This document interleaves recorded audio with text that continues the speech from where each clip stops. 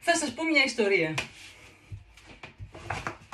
Ήταν ένα διάστημα που είχε φιλοξενήσει τη γιαγιά μου. Να είναι καλά εκεί που είναι η γλυκούλα μου. Την αγαπούσα και την αγαπάω πάρα πολύ. Φιλοξενούσα λοιπόν τη γιαγιά μου και ήθελα να κάνω μία πίτα. Ξεκίνησα να ανοίγω λοιπόν τα φύλλα. Η γιαγιά μου καθόταν σκεφτική στο τραπέζι και με κοίταζε. Σε κάποια στιγμή μου λέει Μαρία, πού έμαθες εσύ να ανοίγεις φύλλα, ποιος έμαθε να ανοίγεις; Μία φίλη μου γιαγιά της λέω. Θα σας δείξω με ποια διαδικασία άνοιγα το φύλλο πριν τη συμβουλή της γιαγιάς μου.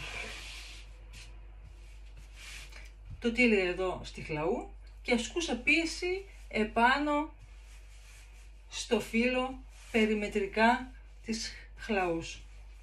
Οπότε εκείνη την ώρα η γιαγιά μου μου λέει μου λέει λοιπόν εκείνη την ώρα η γιαγιά μου Μαρία, εμείς οι πόντιοι δεν τα ανοίγουμε έτσι το φύλλο. Σίγουρα η φίλη σου δεν ήταν πόντια. Και μου έδειξε τον τρόπο που έμαθε να ανοίγει αυτή το παραδοσιακό χωριάτικο φύλλο.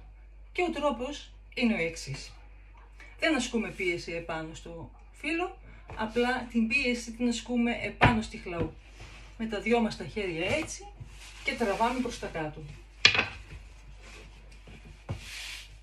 Αυτή ήταν η συμβουλή της γιαγιάς μου, η οποία με βοήθησε πάρα πολύ. Την ευχαριστώ επίσης πάρα πολύ για όλα όσα έκανε για μένα και για την υπέροχη συμβουλή της που την ακολουθώ μέχρι και σήμερα. Κοιτάξτε πόσο ωραία ανοίγει το φύλλο και όσο το βοηθάμε με αλευράκι θα γίνεται τόσο μεγαλύτερο. Ακόμη μεγαλύτερο λοιπόν. Πάντα με τη βοήθεια του αλευριού, ασκώντας πίεση στη χλαού και τραβώντας προς τα κάτω. Απλό είναι. Το φοβηθείτε, δοκιμάστε το. Με λίγη εξάσκηση είμαι σίγουρη πως θα τα καταφέρετε. Σε αυτό το σημείο αρχίζουμε να διπλώνουμε το φύλλο,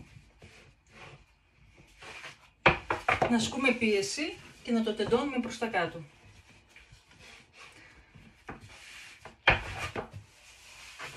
Είδατε πως ανοίγει.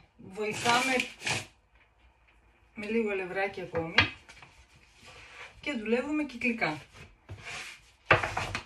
Ασκούμε πίεση στη χλαού και τραβάμε προς τα κάτω.